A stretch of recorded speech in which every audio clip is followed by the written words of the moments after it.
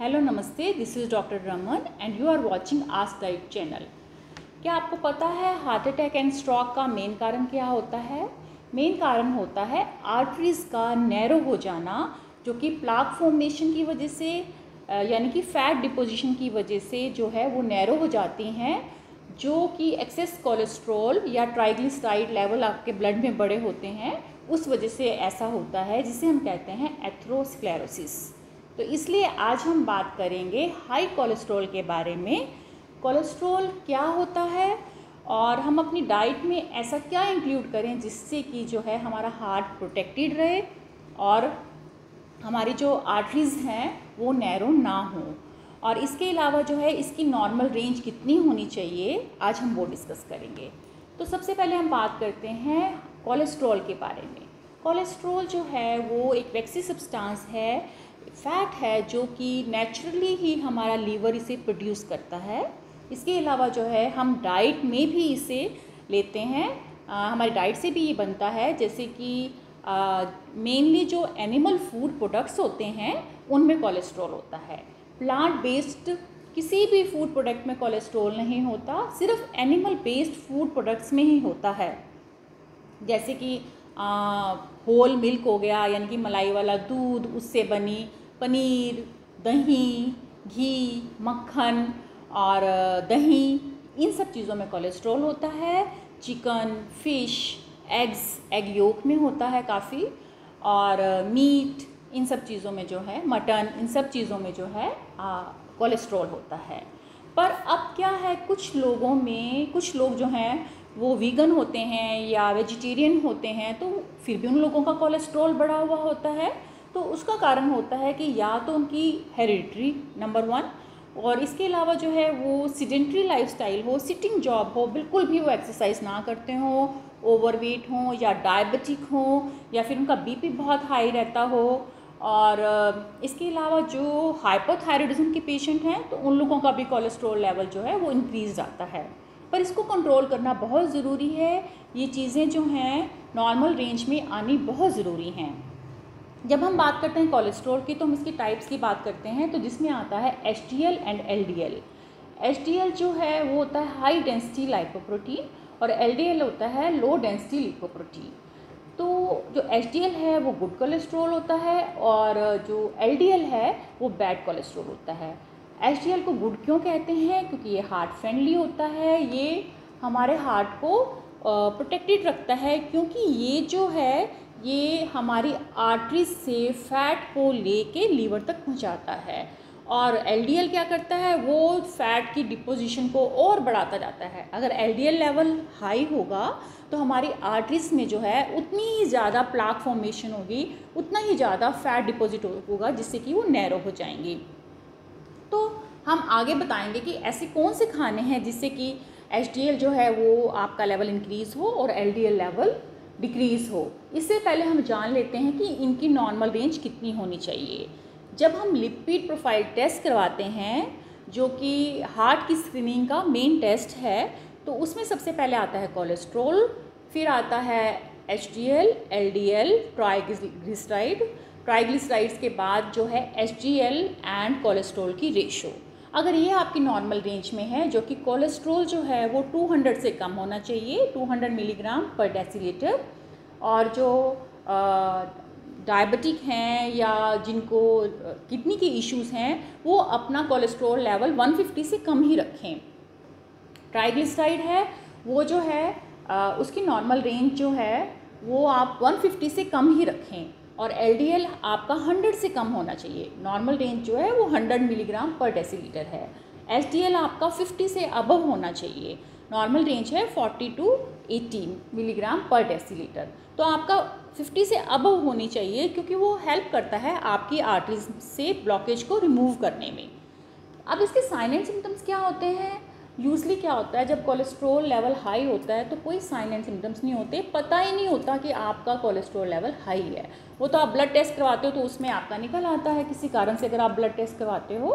पर कुछ लोगों में जो है, वो हो सकता है उनको हैवीनेस हो चेस्ट पेन हो, या फिर लेग्स में पेन हो फेटीग रहता हो, या जैसे आईलिड्स में ना छोटे छोटे फैट लम्ब्स बन जाते हैं। तो वो भी इंडिकेट करते हैं कि आपका जो है कोलेस्ट्रॉल लेवल हाई हो सकता है।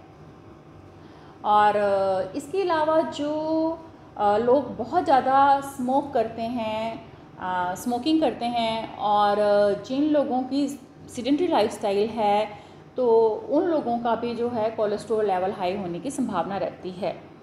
अब हम अपनी डाइट में ऐसा क्या इंक्लूड करें? सबसे पहली बात तो है, ये है कि क्योंकि कोलेस्ट्रॉल होता ही एनिमल फ़ूड प्रोडक्ट्स में है, अगर आपका हाई है तो आप बंद कर दें। आप चिकन बंद करें आप जो है मटन और एग योग खाना बंद कर दें मलाई वाला दूध दही मक्खन बंद कर दें। आप डबल टोंड वाले दूध का आप कंज्यूम कर सकते हैं उसी से बना पनीर उसी से बना दही मक्खन आप आ, मक्खन तो नहीं बनेगा क्योंकि फ़ैट ही रिमूव हो जाएगा तो उसी से बना आप पनीर और दही यूज़ कर सकते हो। यानी कि fat free paneer and fat free curd homemade होना चाहिए। और इसके अलावा जो है, एक घंटे की एक्सरसाइज बहुत ज़रूरी है। जो एक्सरसाइज से क्या होता है, हमारी जो एच लेवल है, वो इंक्रीज़ होता है। और इसके अलावा जो है, आप अपनी डाइट में गुड फैट इंक्लूड करें। ऐसा नहीं कि फ़ैट बिल्कुल बंद कर देना है।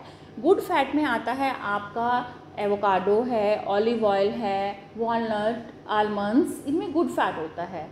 तो वो क्या करता है, वो कोलेस्ट्रोल की एब्जॉर्बशन को जो है वो प्रिवेंट करता है। वॉलनट में तो फाइटोस्टिरॉल्स होते हैं जो कि इवन कोलेस्ट्रोल की प्रोडक्शन को भी प्रिवेंट करते हैं। इसके अलावा जो है, आप अपनी डाइट में इंक्लूड कर सकते हो चिया सीड्स बेसिल सीड्स ये भी बहुत ज़्यादा इफ़ेक्टिव हैं। ये एचडीएल का लेवल इंक्रीज़ करते हैं और एलडीएल का लेवल जो है वो डिक्रीज़ करते हैं। और आप हाई फाइबर रिच फ़ूड ले सकते हो, जैसे कि फ्रूट्स हैं फ्रूट्स में सिट्रस फ्रूट्स हैं या फिर आप चेरीज़ बेरीज़ ग्रेप्स ये सब ऐड कर सकते हो। फाइबर भी हेल्प करता है। ये कोलेस्ट्रॉल के साथ बाइंड होता है और फिर ये कोलेस्ट्रॉल को आ, कम करने में हेल्प करता है। इसके अलावा कुछ फैट बर्नर स्पाइसेस हैं जैसे मेथी दाना। मेथी दाना में सेपोलिन होता है जो कि कोलेस्ट्रॉल की प्रोडक्शन को ही कम करता है। वो लीवर को हेल्प करता है जिससे कि कोलेस्ट्रॉल जो है कम बने। और मेथी दाना के अलावा जो है आप अपनी डाइट में गार्लिक इंक्लूड कर सकते हो क्लोव इंक्लूड कर सकते हो, यानी कि लौंग इंक्लूड कर सकते हो। और ये सब चीज़ें जो हैं हेल्प करती हैं कोलेस्ट्रोल को आपके ब्लड में रिड्यूस करने में। अगर हाई लेवल है तो उसको रिड्यूस करने में हेल्प करती हैं। क्योंकि इनका थर्मोजेनिक इफ़ेक्ट होता है, ये फ़ैट बर्नर है। जब वो फ़ैट को रिमूव करेंगे तो ऑब्वियसली आर्टरीज में से भी फ़ैट रिमूव होगा। तो आप मेथी दाना का पानी ले सकते हो या आप मेथी दाना के स्प्राउट्स ले सकते हो, वो और भी ज़्यादा इफ़ेक्टिव हैं और गार्लिक है, वो आप च्यू कर सकते हो सुबह एक या दो गार्लिक बट बहुत लंबे टाइम तक आपने यूज़ नहीं करना, बीच में आपने गैप डाल देना है, थोड़ी दिन यूज़ करके फिर आपने उसको रोक देना है। आपने ऐसा नहीं कि आप लगातार महीनों ही सुबह खाली पेट गार्लिक खाई जा रहे हो या मेथी दाना पानी पिए जा रहे हो, ठीक है? इसके अलावा जो है सिनेमन बहुत इफ़ेक्टिव है, आप सिनेमन यूज़ कर सकते हो। कभी आप मेथी दाने का पानी पी लो, कभी आप सिनेमन का पानी पी लो और इसके अलावा जो है, ओट्स एंड बारले बहुत इफ़ेक्टिव हैं, बाजरा बहुत इफ़ेक्टिव है आपका कोलेस्ट्रॉल लेवल को कम करने में, क्योंकि इसमें ओट्स एंड बारले में बीटा ग्लूकन होता है, जो कि इसकी प्रोडक्शन को कोलेस्ट्रॉल की प्रोडक्शन को कम करता है। आप, इसके अलावा जो है वेजिस की वेजिटेबल्स की हम बात करते हैं तो वेजिटेबल्स में आप ब्रिंजल है ग्रीन लीफी वेजिटेबल है ब्रोकली है ये सब जो हैं बहुत पम्पकिन है तो ये सब चीज़ें जो हैं आप अपनी डाइट में इंक्लूड करें जिससे कि आपका कोलेस्ट्रॉल लेवल जो है, अगर हाई है तो नॉर्मल आ जाए या फिर विद इन नॉर्मल रेंज रहे ताकि आपका जो हार्ट है वो प्रोटेक्टेड रहे। फिर आप अपनी डाइट में इंक्लूड कर सकते हो डार्क चॉकलेट और एक और मैं कहना चाहूँगी कि एक जो आप सबको पता होगा इसब गोल होता है जिसे हम कहते हैं सीलियम हस्क इसब गोल क्या करता है? वो बाइंड करता है कोलेस्ट्रोल से और फिर वो एक्सक्रीट हो जाता है। इस, इससे क्या होता है कि आपके ब्लड में कोले इंटेस्टाइनल जो कोलेस्ट्रोल होता है, उससे बाइंड होता है ये। तो इससे क्या होता है, आपके ब्लड में जो है कोलेस्ट्रोल लेवल कम हो जाता है, जिससे कि आपका आर्टरीज में जो है ये डिपॉजिट नहीं होता। तो इस तरह से जो है, अगर आप अपनी डाइट का ध्यान रखेंगे छोटी छोटी चीज़ें इंक्लूड करेंगे तो आपका हार्ट प्रोटेक्टेड रहेगा। जान है तो जहान है तो thank you so much for watching this video. Bye bye